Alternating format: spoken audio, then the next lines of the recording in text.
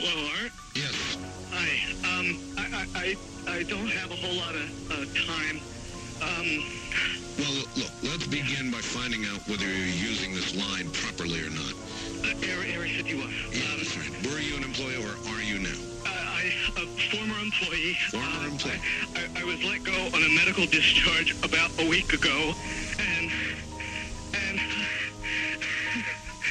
I've kind of been running a, across the country. Um, oh man, I don't know where to start. They're uh, they're, they're gonna um, they'll triangulate on this position really, really soon. You Um, can't spend a lot of time on the phone, so give us something quick. Okay, um, um, okay, what, what we're thinking of as, as aliens are, they're, uh, they're, they're extra-dimensional beings that an earlier precursor of the, um, space program made contact with.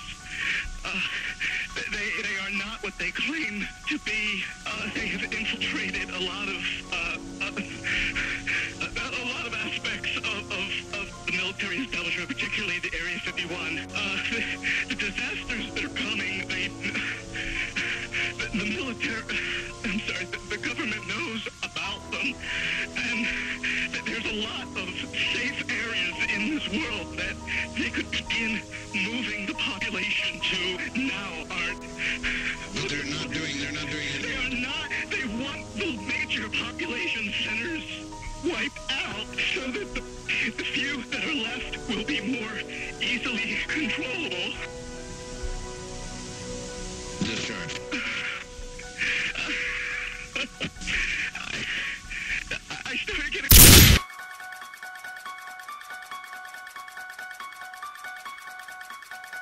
In some way, something knocked us off the air, and we're on a backup system now. It's uh, government or I don't know. it has to be something though. Well, did you hear? Now, you tell me because you were listening. That was awful strange. There was a really weird guy on the air when it went off, Yeah, real weird out. like uh, going, sort of, sort of sounding paranoid, Yeah. schizophrenic. Like crying and everything. Yeah, yeah, yeah. Yeah far into the conversation was it when, when it went off? Just a couple, about 15, 20 seconds, I'd say. Oh, you, you guys missed, you, you really missed the call then, and I've got a feeling somebody didn't want you to hear it. Yeah.